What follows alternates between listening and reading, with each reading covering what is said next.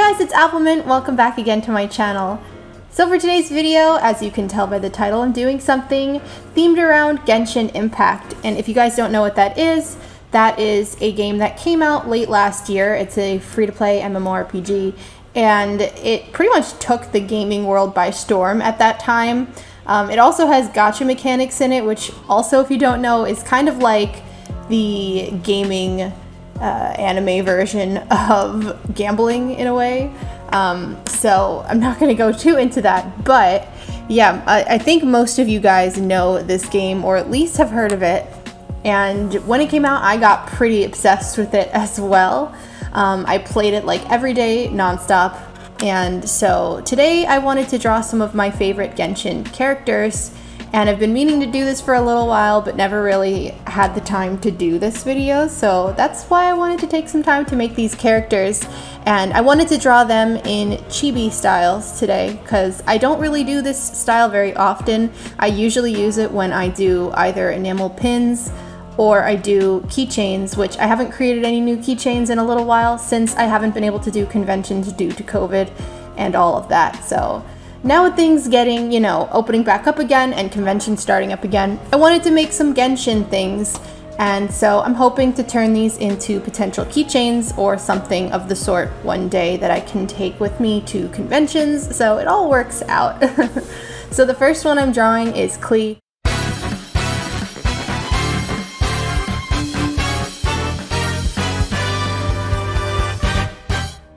And when she came out, I pretty much freaked out. I saved up a ton in game and all my wishes and all that for her. And I ended up getting pretty lucky. I got her within the wishes that I had saved up. So I didn't have to spend money. Not that I would per se. Um, I have my whole stance on gambling in gacha games and how predatory it is, but I'm not going to go into that too much. I will say I used to play Love Live pretty heavily years ago, um, which is a rhythm game, and I was also pretty obsessed with that. And I played that for like two or three years, um, pretty much not nonstop, but like I would play a little bit every day for two to three years. And I went through a phase where I got so into it that I actually did end up spending money on the gachas. And the gacha mechanics in these kinds of games are crazy because or not mechanics, I should say the gacha prices in these kinds of games are crazy because they'll usually charge you anywhere between 20 and $30 for like 10 tries at getting a character you want. And the, the chances of getting the character you want are typically like 1%, 2%. It's it's really and it's not even guaranteed that you'll get them. If you hit that 1 or 2% of getting a rare character, it's not even guaranteed to be the one you want. It could just be any of the it could be anything from a pool of rare characters basically. So yeah it's it's not really the best to do it. If you have fun doing it i mean i'm not going to tell you not to but i i spent a bit on love live years ago and i regretted it because i didn't get anything from anything that i spent. It just made me sad so try to go through genshin impact not spending money on gachas. I think i purchased like the welcome pack once and that was pretty much it so um, yeah. I, i'm having a lot of fun with this game and so I find that whenever new characters come out, it's really exciting. But I end up keeping the same characters on my team all the time. And I don't know if I'm sure some of you guys do this. Oh, yeah, there's Klee. She's done. I really like how she came out. Um, but yeah, I, I'm, I'm sure some of you guys do this where, you know, you are excited to get a bunch of characters, but then you can only have a certain amount on your team at the same time um, so in Genshin, it's four. And it's just like, I don't know, I get really stressed out because I want to have them all on my team at the same time, but then I have people that I really like and that I've leveled up a lot. So my team typically consists of Klee, Sucrose, uh, I usually have Fischl on my team, and then my like fourth slot will be kind of the one where I'll switch people out here and there. Like I don't really mind who's there. Right now I have Diona just because I like the ice and the healing, but I, I sometimes have Kaeya. I sometimes have you know a different any any element that's not already on my party. So yeah, but but Klee and Sucrose are my two favorite characters, which is why I'm drawing them first in this video.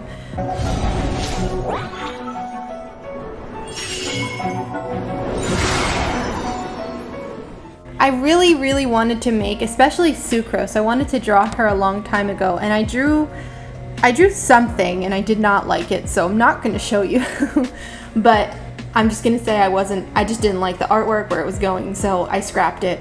And that was the last time I drew a character from this game, because I just didn't have the time to or the desire. Um, but yeah, I really wanted to do these cute little chibis, so it's kind of working out that I'm doing them now. So, I mean, I would love to hear in the comments below, when, whenever, you know, while you're watching the video or after the video, what your favorite Genshin Impact characters are, if you what if you play the game, um, how into it you are, you know, tell me a little bit, of, but but tell me your favorite character. I'm not gonna judge you, but but we'll leave it at that.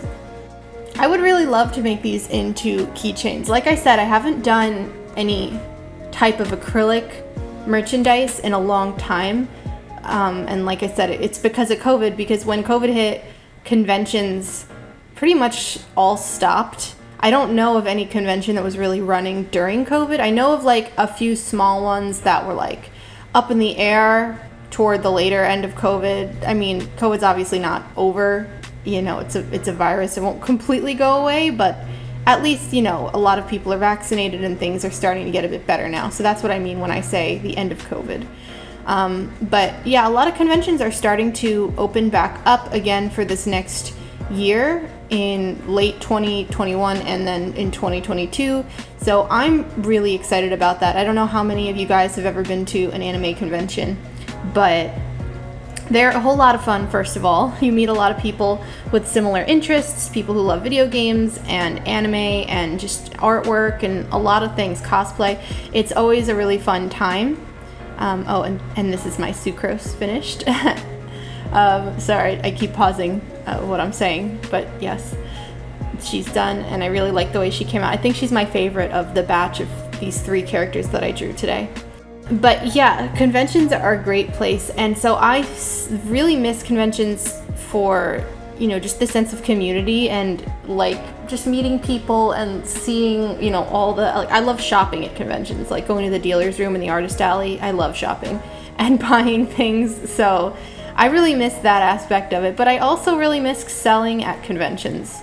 I haven't sold at one since I think it was late 2019, and then I had some in 2020 that were supposed to happen, but then obviously we couldn't do conventions in 2020 or anything in 2020, so those got rolled over to this year, which then got moved again to next year. So I'm just kind of waiting for certain conventions to do them over and over, uh, but they'll, they'll, get there eventually. Next year, I'm, I'm pretty hopeful that they'll happen, and so yeah, I'm just looking forward to getting back into the scene and making more stuff and doing more artwork for everything. I mentioned to you guys in my previous video that this is a very busy summer for me, but once the summer is over and I'm back into my main swing of things and everything, I, I hope to make a lot more artwork and finished pieces, and so I'd love to share that with you guys on the channel. Hope you don't mind my rambling about this. I figured it was a fitting topic since I'm doing chibi art for like for keychains, so I figured I would discuss some of that. Um, and also for this one that I'm doing, this is Kaeya.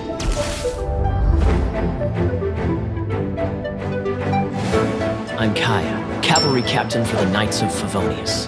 Who is, I, I think, one of the best characters in the game. I know some other people will disagree with me, but I don't care. I really like Kaeya, and he's better than Diluc, and I don't care what you say. But um, I had some trouble with like his pose at first. Not not necessarily his pose. I guess more like his details, like his hair. I couldn't figure out where to put it. Then his like I mean the, the ponytail is part of it. Like I first had it really close to his body and then I moved it away because it just wasn't working. And then I kept moving his head around a lot, like the angle of his head, because it when you draw chibis, the head is typically very big and the body is small. And so sometimes for me, it's hard to tell like where the head should land on the body to not look like it's crooked or something because I don't draw in this style all the time. So sometimes I have to kind of readjust to how things should look and pull back from it. But I eventually was able to get down a, like his final line art and I was happy with it.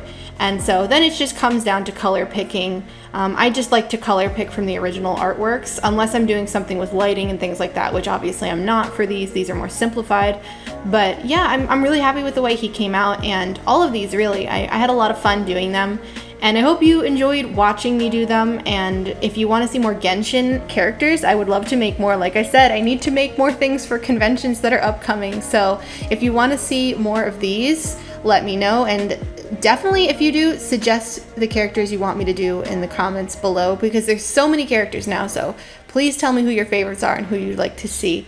But anyway, Thank you guys so much for watching my video today. And as always, I have all of my links in the description box below. The link to my online store, my Patreon pin club, my Discord server, and my Instagram is all there. So go check that out. And I will see you guys all next Friday at 4 p.m. Eastern Time as always. And I hope you have a wonderful weekend. Bye bye.